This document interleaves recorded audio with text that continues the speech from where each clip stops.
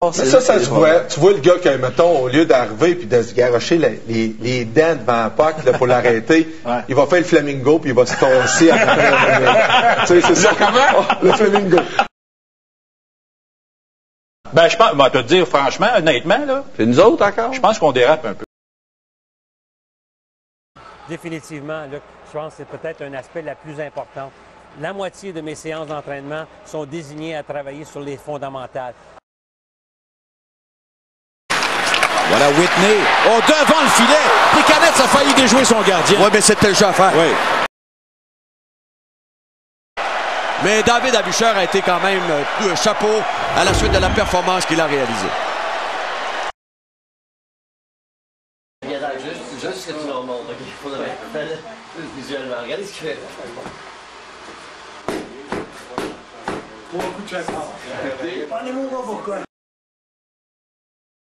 Jason Voorhees qui est avec nous ce soir, mesdames, messieurs.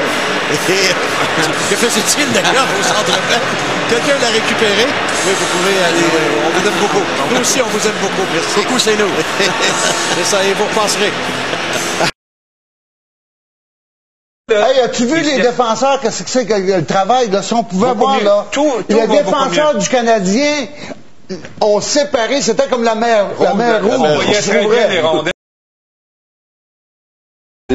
Deux capitaines se sont illustrés ce soir dans ce match euh, entre les, euh, les Dallas et les Stars. Mike Modano a marqué deux buts. Même chose pour Nick Lidstrom. Détroit l'a emporté 4 à 3.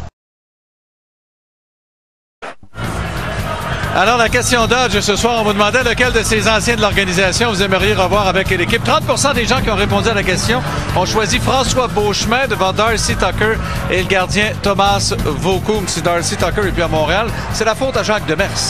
Le retour à Pierre et Yvon.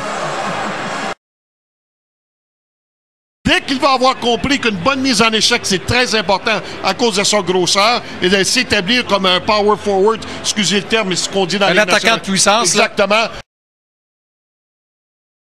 Et réception de passe ratée de la part de Ryder, ça va occasionner une mise en échec profondément dans le territoire du Canadien.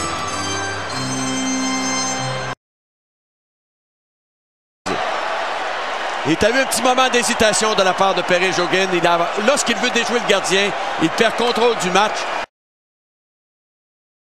Mais c'est exactement ça. Tu avais sept colonnes des victoires. Quand tu pars, tu as gagné, tu donnes un bec à ton coach.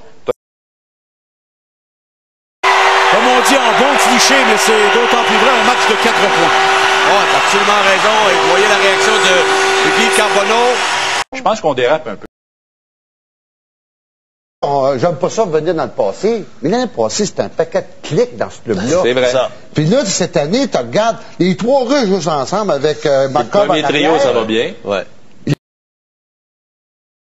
Mais après un certain temps, quand le deuxième trio ne fonctionne pas, ben on met une couverte sur le, trio de Sakou.